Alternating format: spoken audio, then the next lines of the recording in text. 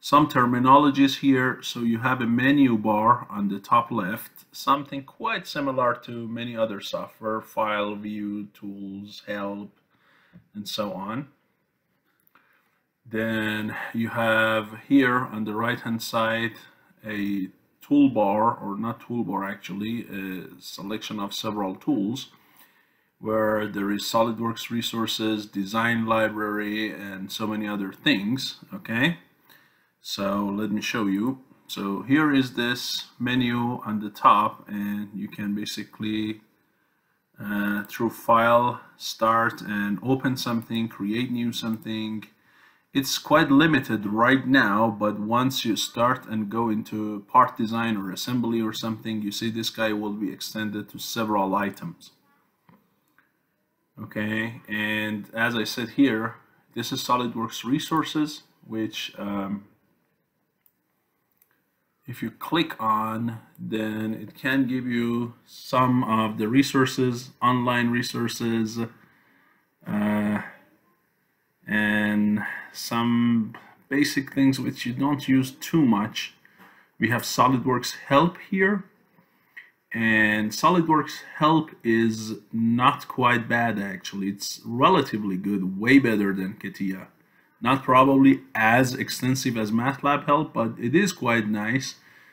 There is a student curriculum in it for teaching classes for us basically. There are resources for you guys, instructors curriculum and tutorials okay these are really good so if you want to learn about it if you want to know more about creating parts assemblies drawings okay so once you go there there are basically uh, some basic things that it talks about okay so it's not probably as complete as what we go in this course through but it is a good starter for yourself so take a look at that. The other thing that I really, really like about SolidWorks is the design library.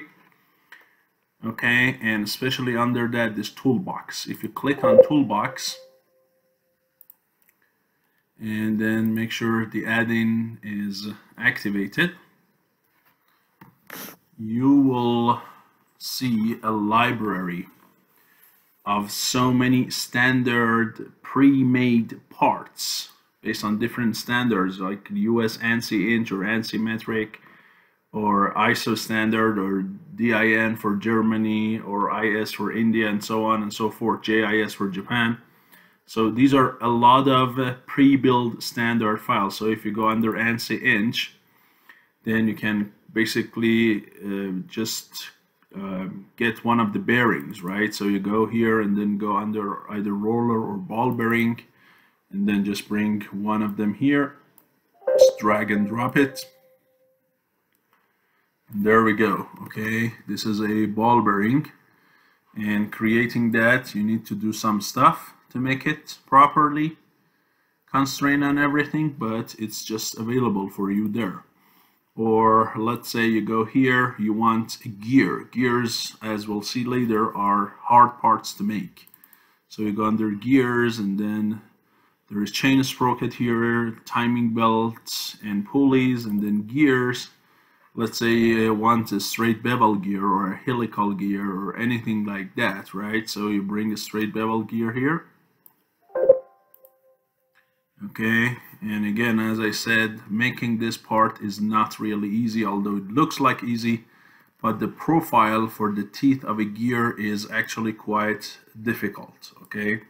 So we'll talk about these, but always um, once you learn the basics you can take advantage of this. You want the structural members from steel. There are all sorts of beams here you want bolts and nuts there are a ton of bolts and nuts here different categories right so uh, there are some standard nice parts here that you can always take advantage of so uh, CATIA's library is just very minimal compared to SolidWorks library. And I'll show you later if you want to save one of these and then open it in CATIA and use it, I'll show you later. But um, just take advantage of this whenever possible.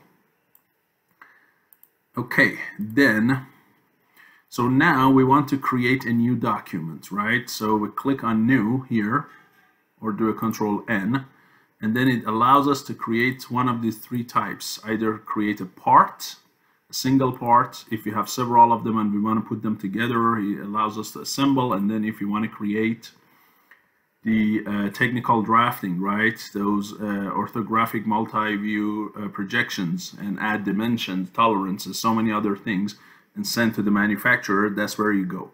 But everything starts from creating single individual parts and then you can assemble you can create drafting and everything. So typically that's first place you want to go if you want to create new parts. You can also click on advanced and then it talks a little bit more and uh, you can look at the tutorials you can set your levels uh, and see more bars or have templates but I don't think you need to go there right now. I just say part is good enough. And uh, I start here right? So as I said when you get into the part design now your menu is extended so now you have file edit view insert tool simulation and window and then you can use this to basically hide or show some of them Good. So now when you open it and you see this uh, window in the part design, there are some terminologies that I want you to learn. So as I said, this top one, we call it the uh, menu bar, right? But we have a bunch of tabs here. Each one is for a separate operation or set of operations we call it the command manager up there okay then we have here what we call in this software and many other software we call it a tree and here we call it basically feature manager or manager feature manager design tree okay? So this is I just call it tree. I don't call it feature manager tree or something. Then uh, we have a triad which shows us the direction of x, y, and z axes. Right, we have this different windows that is for creating models, 3D views. Uh, we can add motion study later. We have the origin here. We have the view toolbar. Again, here it's called heads up view toolbar, but we never say that. So it's just view toolbar. We'll work with this a lot. So what we really need to know, that's the menu up there. This is a command manager, feature manager. This collection that I mentioned, we call it the task pane. We call it the task pane, but um, we really mostly work with uh, the design library. And then as I said, origin, triad, then here down here you can set the units whether you want standard ISO units or um, basically ANSI units or any SAE units, whatever tags, we don't need to be concerned about them. So these are some of these standard things that you can see here, right? So this is your view toolbar, that's your tree. These are all I have added and these are basically the uh, feature manager and then we have basically several tabs here too configuration manager, property manager, this is the feature manager, but the other tabs, you have property manager, which we don't deal with right now. Later, we will look at configurations. DimXpert, we don't use a lot, and appearance, we will use later on. So, uh, okay, and as I said, each one of these tabs has its own toolbars. So we're gonna work with several of these right? And this is our task pane. The origin uh, is not directly shown, but we can see it later. And this is our triad, right? Here is basically your system. So right now it is inch, pound, mass, and seconds. Okay, so this is IPS. You can change it to MMGS, millimeter gram seconds, or MKS, or CGS, or so on. So if you want to stick to inches, you probably leave it here. I also show you later when you go to tools and then go down to options. Here also you can change the units of everything as well. Okay, so uh, just want to give you an overall idea. Now, as I said, we have feature manager and feature manager, there is a roll back bar and suppressing and unsuppressing. Okay, so let's talk about this a little bit. Now, since we gonna create parts from uh, two videos from now, I don't want you to make something right now. I just want you to go and download a part already made from um, Canvas or you can get one of them from this library here okay so you can do either one if you want anything on Canvas you just go here under modules. And then if you go down there are different parts here under demo files so you can get them as well. So it is completely up to you what you want to get but there are some parts here. And as I said you can get some parts from here as well right? So let's say um, if I want to get a part from canvas let's let's get something from here and um, let's look at these multiple features that could be a nice one so we click on this multiple features SLDPRT file right? So I downloaded it, and now I can just go and open the thing, right? So I go under my downloads, and here we go. Okay, and you can move these guys out of the way and make your window as big as possible. Okay, so first thing is this tree here will show a lot of things okay?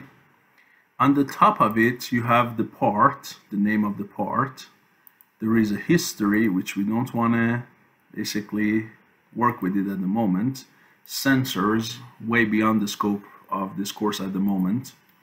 Annotations no. Solid bodies no. We don't really work with them right now. Here is where you can assign a material to the body. We'll do that later.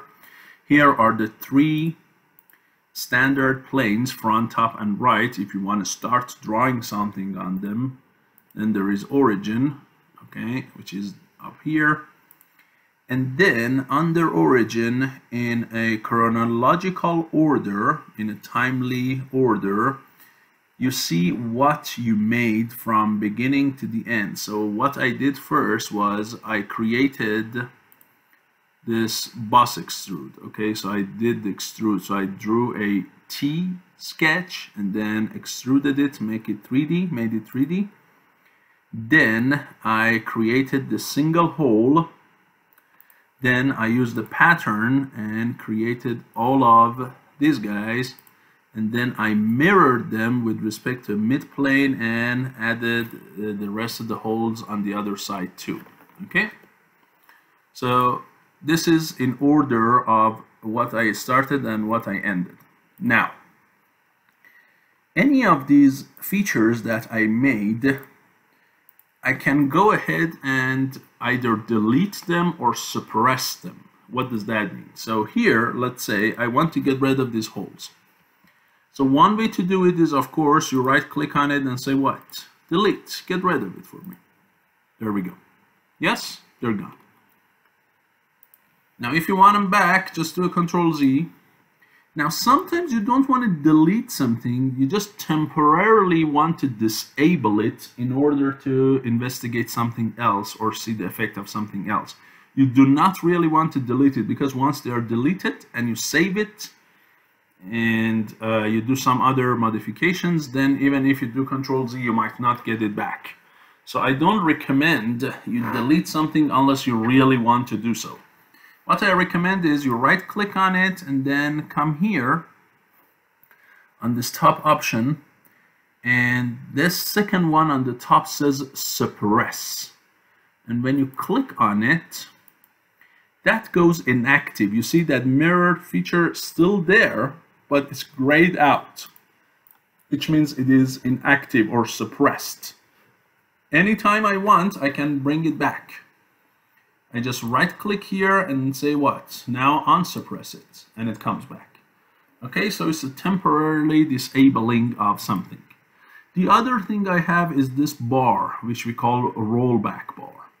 what is this? So wherever this rollback bar is, anything you made above the bar will be active. Anything that goes below the bar will automatically be suppressed.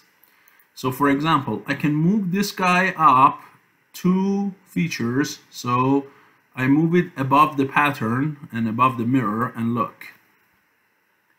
Yes, these guys that are below it is like I have suppressed them right? The pattern is not there and the uh, mirror is not there. Although they, they're there they're just uh, uh, suppressed.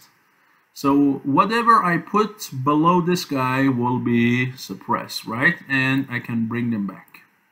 And just move it and uh, basically bring it back. So moving the rollback bar okay will do the job of suppressing or unsuppressing and uh, you can even right click on it okay? You can even right click on it and move it although it's easier probably to just uh, drag and move it okay? But uh, you can do that as well. So here I just if I bring it back again to here right?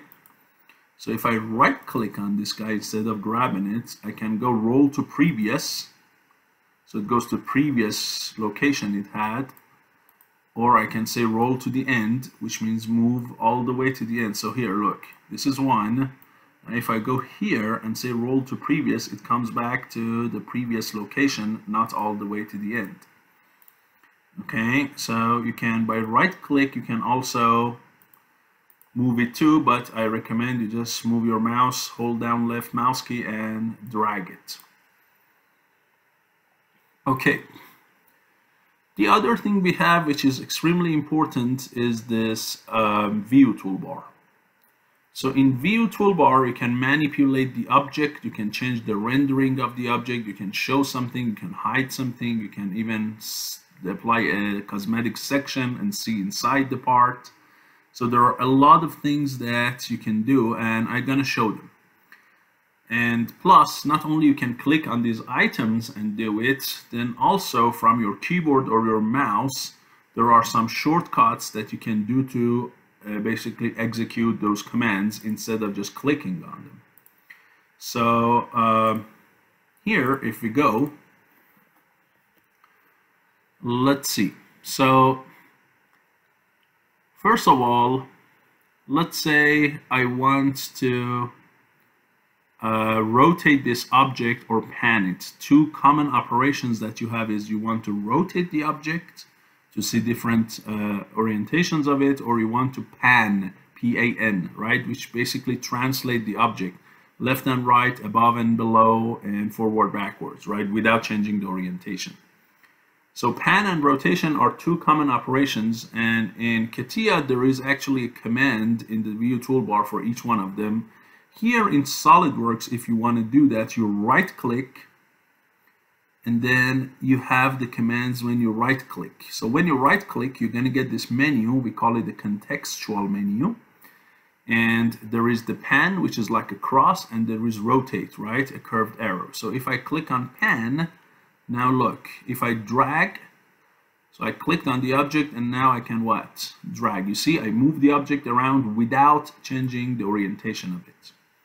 I can also right click and say no I want to rotate the view or roll the view. Roll is more limited than rotate. So I say I want to rotate and now what? You see? Again I hold down my left mouse key and drag. Yes? So I can rotate the object in any direction that I want although it's not perfectly under control but uh, you can really do that. Okay, so if you want to um, rotate or pan, you just basically do what I said, right click. You can also zoom in and zoom out using the same menu. So if you right click here, then it gives you what? Basically zoom in and zoom out. So if you click here, it gives you the magnifying glass and then if you hold down left mouse key, if you move it in different directions up or down then you can zoom in or zoom out right? So let's say sometimes I make this part too small and I even pan it out of the center. So it's completely off like this. Okay so the part is small the orientation is not what I want and uh, it is completely off center how can I get it back? Well you probably say first pan it to the center then uh, basically zoom in and then change the orientation. Yes you can do all that but that takes some time. The best way to do it is first fix the size and the location by just clicking on the first command up here zoom to fit. Or you can use F from the keyboard. You see in front of it you can see F so all I need is either click on this or from your keyboard I use F. There we go. Automatically it is resized and relocated to best of display. Now I want to change the orientation okay? This command does not change the orientation for me right? It does not. So if I want to fix the orientation I can go under view orientation or I can of course I can uh, do a rotate view but I can also go here under view orientation. There is a small triangle. If I click on it I expand it. And then what? I can see different views. So I can look at the front view of the part right? I can look at the left view, right view, above, below, anything, right? Or typically I put it what? In the blue cube isometric, which you can also do using control 7 of your keyboard. Correct? So I put it in isometric view. Also, you probably uh, paid attention that when I click on this, the glass box would appear around the object. And if I click on any face of this glass box, I can see the object in a direction perpendicular to that surface. So if I click here, I would see it from top. If I click here, is front. If I click here, is right. Yes? So, you see?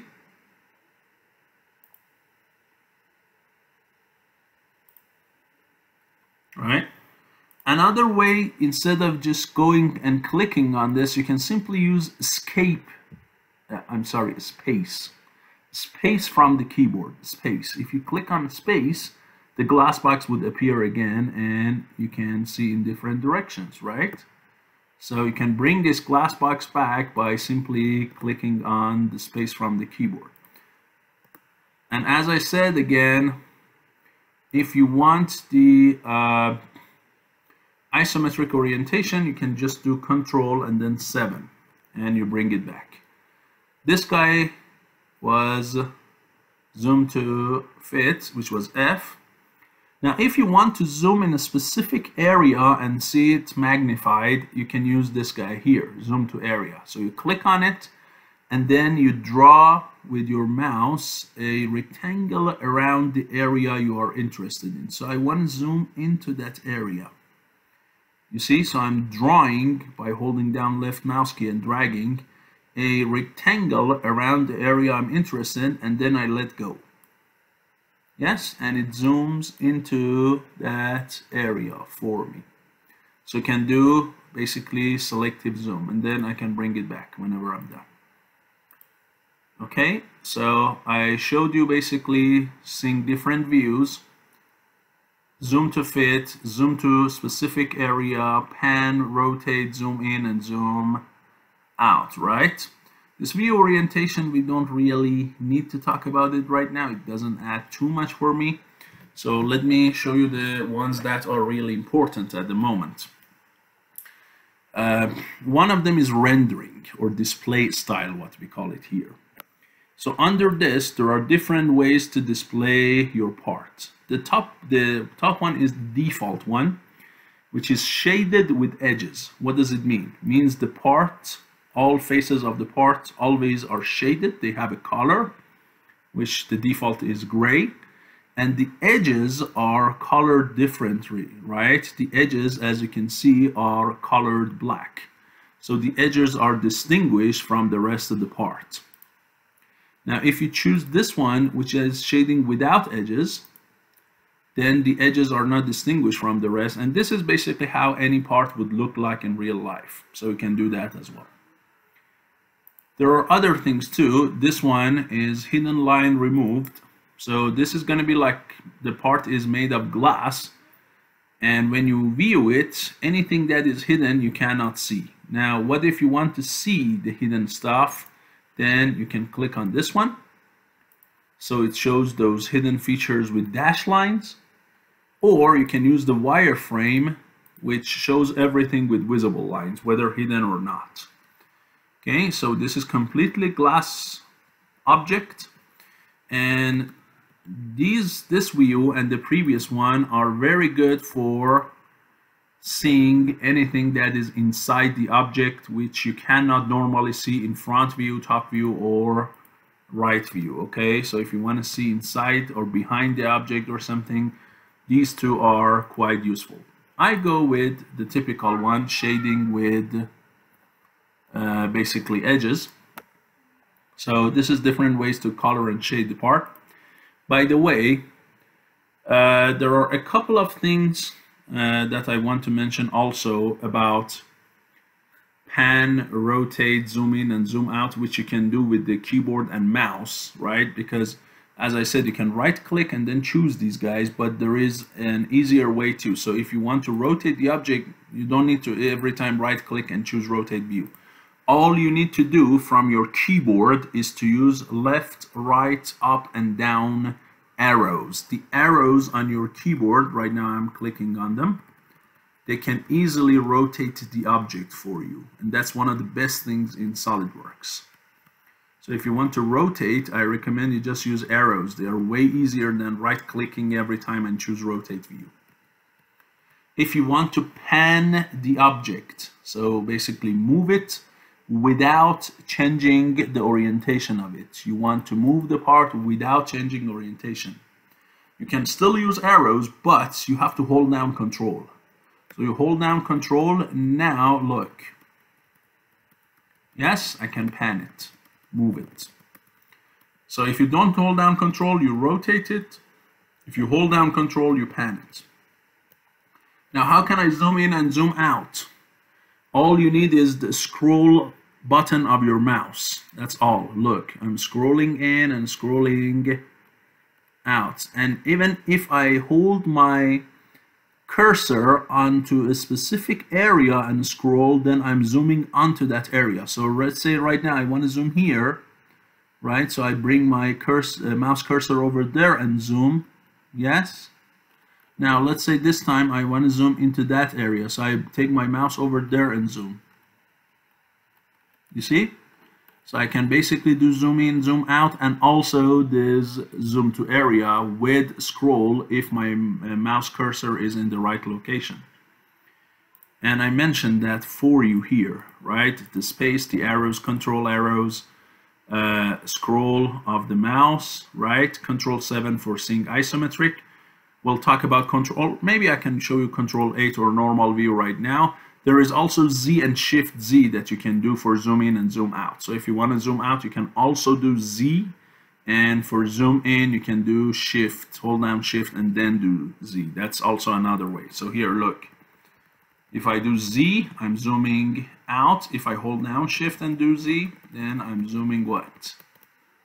In. Okay? So these are very useful. The other thing I mentioned is called normal view. So if you want to see normal to a face, right? I choose this face, right? I click on this face and then I want to see in a perpendicular direction to that face, regardless of whether it's front, right? Not always a face is uh, parallel to any of the main three views, correct? So I want to see normal to this. So you see if I click one time, left click, it gives me an option and one of them is this guy, normal to. So I can see normal to that face, right? Another way to do it is if you just click on the face, without choosing this, you can do control 8. Control, hold down, control 7 what isometry, control 8 is normal to, like that. Okay, so there are a bunch of keyboard and mouse shortcuts that I recommend if you learn them. They're way easier than each time you right click on something. Okay, they're way easier. Uh, I talked about shading. Now let me talk about a few other things. Uh, one of the things that you have is this eye and this eye will allow you to show or not show some of the stuff like for example when you go to sketch and you want to draw a 2d profile you can show the grid behind it or not show the grid right you can show the centroid of the object or not show the centroid of the object uh, basically you can show the origin or not correct you can see temporary axis. So each object that has an axis of symmetry, like these cylindrical surfaces, they have their own axis of symmetry, but they are not shown. But if you go here and say enable temporary axis, right, you can see all of them here, the dash dotted lines in blue. So this guy will be quite handy later when we get to it, okay, this view one. Uh, then this one here, view setting, if you expand it, you can have different overall rendering, so you can cartoonize your object. You can apply perspective view, so right now it's in parallel view, but you can make it perspective. And then you can uh, look at the ambient occlusion, okay, which is basically about shadows. We'll talk about uh, no, actually about um, the ambient light. And then shadows, you see here, I have shadows now. I can get rid of them. So if I undo it, look below the object, you see the shadow? Now look, they're gone. So you can add shadow or not shadow.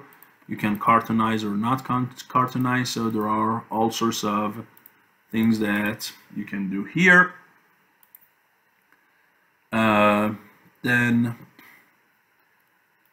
we'll talk later or you know what let me talk right now let's not talk later you can apply uh, appearance although we'll go in more detail about that in part design but you can edit the appearance of the part. So here you can click on this and then you can choose a different color for the object right? So I can make this object to be orange instead of red. Under basics if I go under advanced then there are different ways to eliminate the object. And if I go here under uh, basically uh, elimination then one of the nice things you can do about the object is transparency so you can make the object transparent while it is still what it is still shaded right so I can make the object transparent if I want to so there are all sorts of things you can do. You can even look at different textures for the object under appearance, right? You can apply different textures. We'll talk about them. You can add decals, the logos of your company and so on, right? And we'll talk later. You can change the lighting of the scene. You can um, basically change the cameras so there are so many things that when we get to it we'll talk about it but these are different light sources right so this is ambient there are three light sources you can see them if you want so these are the lights that are basically illuminating the object and you can basically edit them this is the ambient light if you turn it off the object will go darker of course right you can um, change anything you want. So let's say I want to go and say edit light. Again, we'll go through this and I change the light intensity of the environment. Right, I can even change the color of the light of the environment. And there are so many things that you can do, okay? So just wanted you to know the options as later we are going to go through these parts. And then you can change the background scene okay? So if you click here you can make it plain white instead of the shaded gray color which is the default here you can make it like a rooftop you can make it like a uh, soft spotlight. So there are, you see, it's like it is in a room or something. That's quite interesting.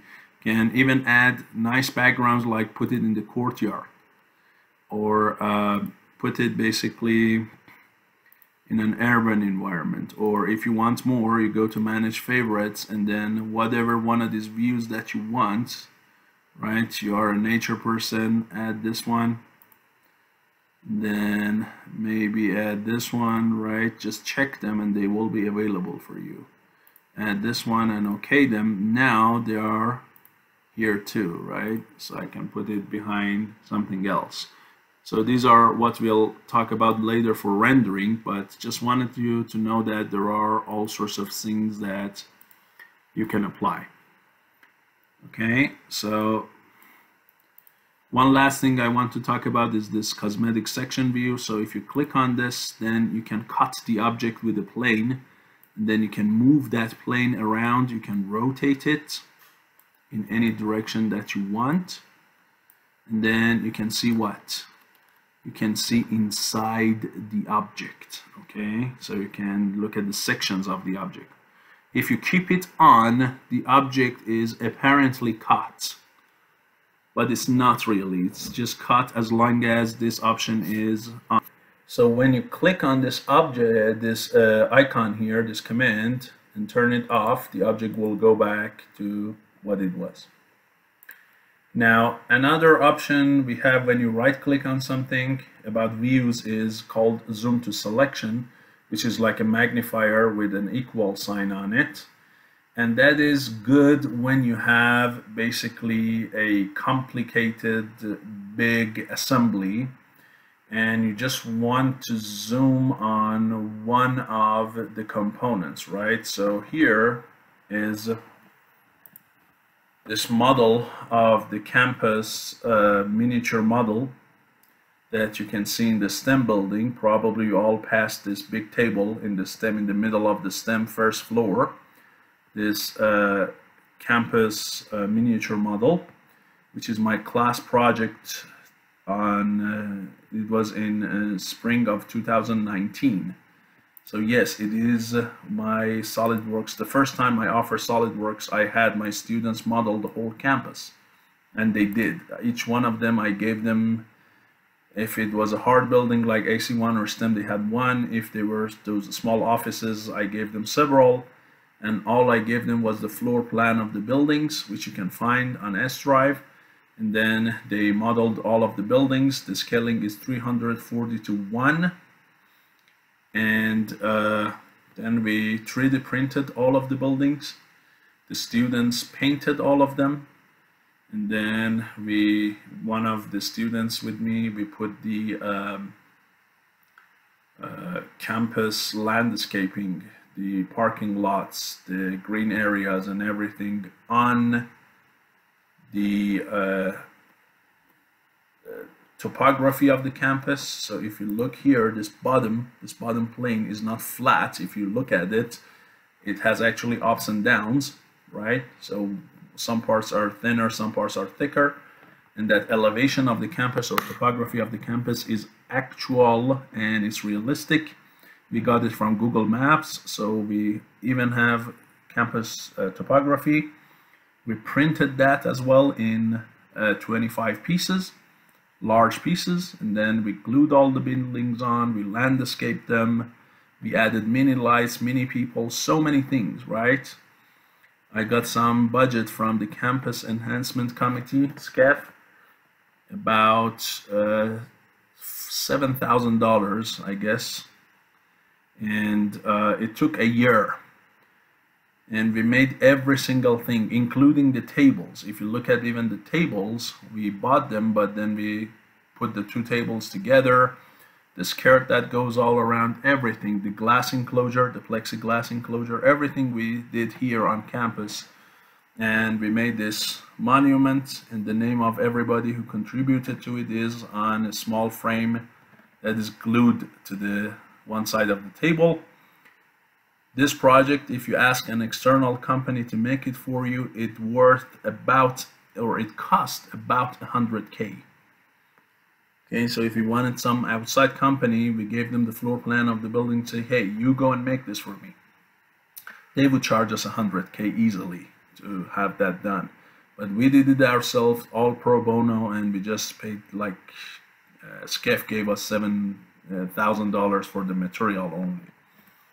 Okay, but yes, this is what you guys can do as well okay? You can do a lot of nice things once you're equipped with the power of a CAD software and design and then you can basically use 3D printers 3D scanners CNC machines and so on.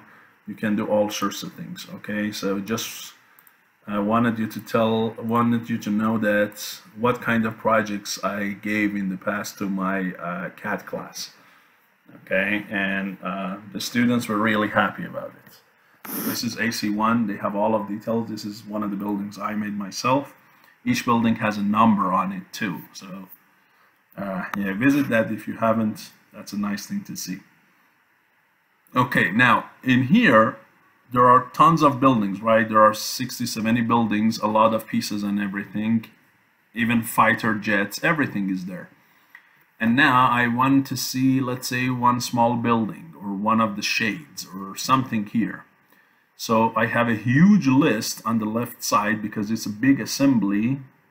And in that big assembly, each part has what? One tab for itself. And when you expand it, then you can see everything that was done under that part. So it, you can imagine it is going to be a huge thing, right? I don't know if I can access it right now and open it, but it is actually a, a gigantic thing and uh, I'm not sure if I have it right now, but um, I have to find the files.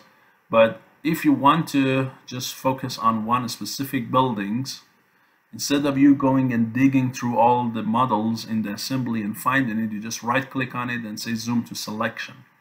So here, let's see if I have an assembly that worth looking. Uh, SolidWorks files, maybe. And um, I don't think I have anything really super difficult here. Maybe this piston assembly.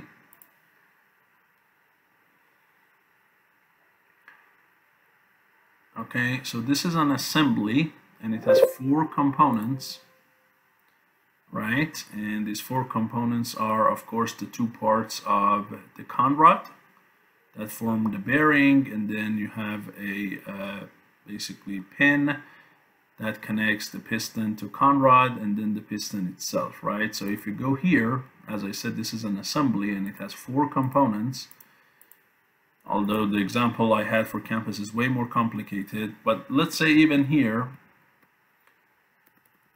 you want to know which one is pin, right? So all you need is here, you right click on the pin and then go up here in this menu and then say what? Zoom to selection. So it will find it for you in this huge big thing and zoom onto that component for you like that, right? Or let's say here. I want to know which one is this um, clamp. So I just go and say zoom to it and then it finds it for me. Believe me here it's quite easy. Whenever you click on each one it goes blue so you can see that one is selected. But when I was doing that thing here with so many small and big buildings some of those buildings were kind of hidden behind everything else so when I clicked and there was the list, instead of four items here, it was like 80 items or 100 items. So it was hard to just find it among those big number of other buildings. So I just right click, but it was so big I couldn't see which one turned blue. So I just zoomed to selection and it directly took me there. Uh, I talked about shading, hide and show, section view. We'll talk about different things in Command Manager. We go through them one by one later. Uh, feature Manager, I guess I mentioned briefly, but we go over each one of them later on. I'll talk about the design library. So the only thing left is selection enhancement. And the other tool, which is really interesting and useful again later on. So let me talk about other and selection enhancement as well. Okay. And um,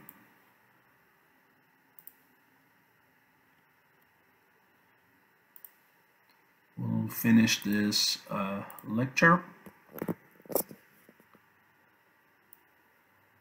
So um, if you just right click here in the blank area, this top menu up here is the selection enhancement. Now by default, if you want to grab something or select something, right, you can click on it, correct? You can click on any entity that you want. Or if you want to select several at the same time, you can just what? Drag your window around it like this, and then all of them will be selected right? So the default method for selecting several things in SolidWorks is a rectangular basically frame around all of them. Then all of them will be selected, correct? Yes? So I can show you better in this sketch maybe. So here in this sketch I have so many lines and I can select each one of them separately, right? When they go blue, they are highlighted and I can do whatever I want to them. Or I want to select let's say a bunch of them so I can just draw a line like this.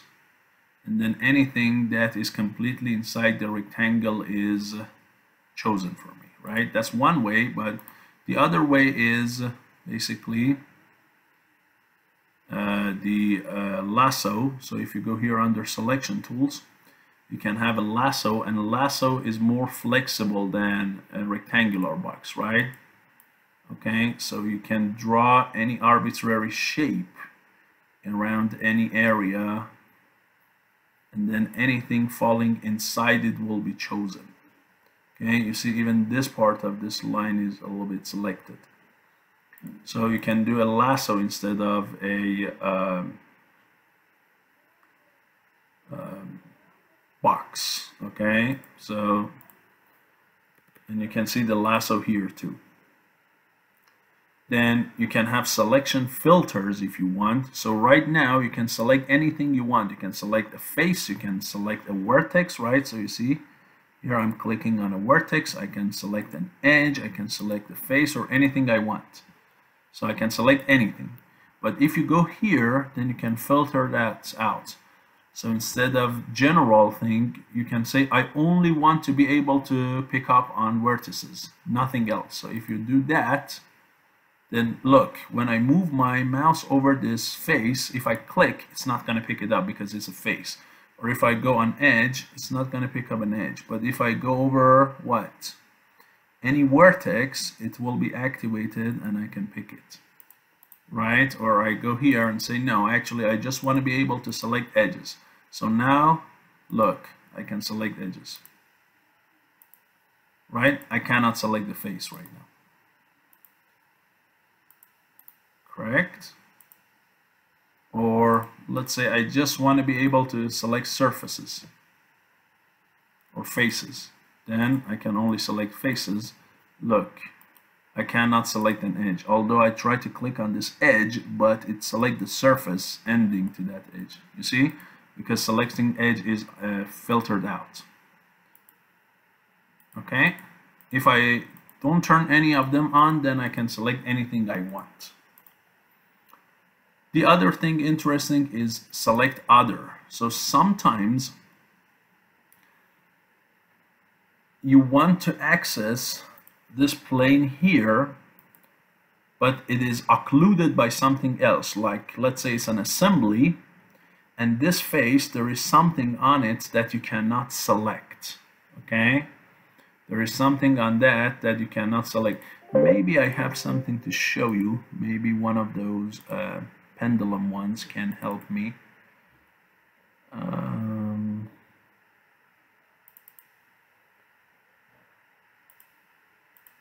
show you what I mean so here I have a pendulum made, right? And this is an assembly, correct? And here, if I want to select this pin, right, this pin, if I want to select the cylindrical surface of the pin, not the front end, not the back end. I want to select the cylindrical surface of this pin. How can I select it? Because it's completely occluded by other object. So one way to select it, to do something with it, is you have to hide this guy. Right? So you have to right click on this guy and then go to what? Hide component. Okay? If I hide this, now I can choose the surface. Yes? So that's one way. And by the way, anything that is hidden in the tree, anything that is hidden, the parts icon for it, instead of being yellow, it goes white.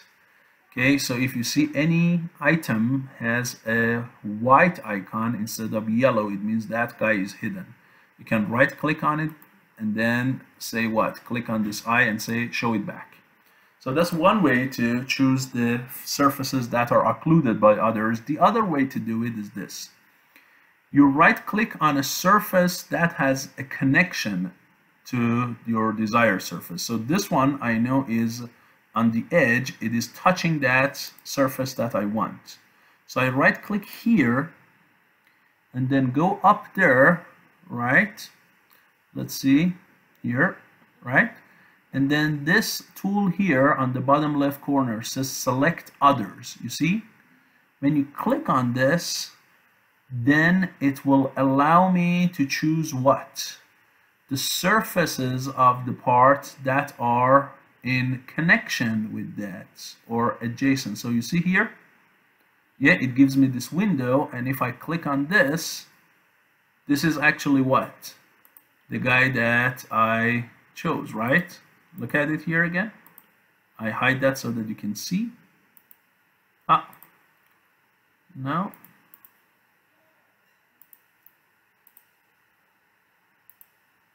You see? If I click on here now, it allows me to choose that surface without the need to what? To hide. I don't need to hide that anymore. I just right click and say what? Select. It gives me all different things that are in contact with it and I can choose any of them that I want. Right? Select anything other surface than this that has a connection. And I choose this one and I already chose it without hiding anything. Okay, so that option of select others, hide and show are some other important things. Again, you can right click on anything you want, anything, whether it is a an entire part like this and hide it or show it, or it is a single component, right? So if you just have a single part, and the single part has several different features. You can also right click on that feature and say what? Hide it for me. The problem is sometimes when you hide something since it is attached to the rest of it it will hide the whole thing. Okay so it's not as simple as an assembly with different components. That's one thing you need to pay attention to. The other thing is this so here, let's say I want to get rid of um, the uh, hole here. How can I do that? Well, if I right click here and say delete, right, it goes away. But the sketch that I used to create this part remains. Okay? And I can use it or I can delete this one as well. You see here it says sketch, the 2D profile, and I can delete that as well separately. Another way is if you don't want the sketch as well, you want to delete the feature and the sketch, you right click here and say delete, but here you also check this mark, says delete absorbed feature, which means anything that is related to that, get rid of that as well. And now look, you see the circle is also gone.